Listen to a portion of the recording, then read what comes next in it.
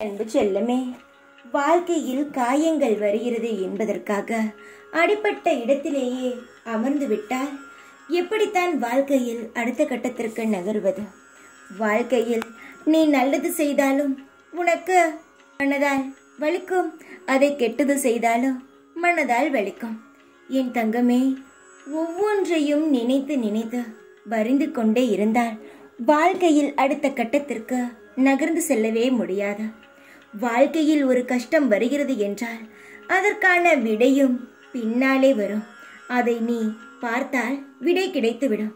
ஆனால் பயந்து அமர்ந்தால் எதுவுமே கிடைக்காது.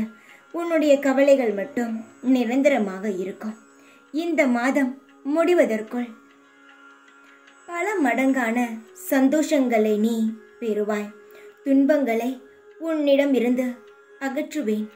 உன் வாழ்க்கையில் எப்படியெல்லாம் வாழ வேண்டும் என்று யோசித்து வைத்திருந்தாயோ அது போலெல்லாம் வாழ்வாய். ஆனால் நீ ஒன்றே ஒன்றுதான் செய்ய வேண்டும். என்ன தெரியுமா? முதலில் காயப்பட்டு விட்டோமே. இனி அடுத்தது நாம் எது செய்தாலும் காயம்தான் படுவோம் என்ற எண்ணத்தை விட்டுவிட்டு காயப்பட்டால் பரவாயில்லை. நம்முடைய முயற்சியை எடுப்போம். நடப்பது நடக்கட்டும் என்ற எண்ணத்திற்கு வா. நான் இருக்கிறேன் உன்னை அடுத்த கட்டத்திற்கு அழைத்து செல்வதற்கு. சின்ன சின்ன ஏற்ற இறக்கங்கள் வரும். ஆனால் ஆனால் வாழ்க்கை ஒன்றும் அப்படியே இறந்து விடாது. நம்பிக்கையாக இருந்தால் உன் நம்பிக்கைக்கு பரிசாக ஒரு நந்தவனம் போல வாழ்க்கையை உனக்கு தருவேன். பொறுமையாக இருந்தால் உன் பொறுமைக்கேற்ற சந்தோஷமான எதிர்காலத்தை தருவேன். நீ நம்பிக்கையாகவும் பொறுமையாகவும் இரு. உன் வாழ்க்கையில் அடுத்தடுத்து என்ன நடக்கிறது என்று மட்டும் வேடிக்கை பார்.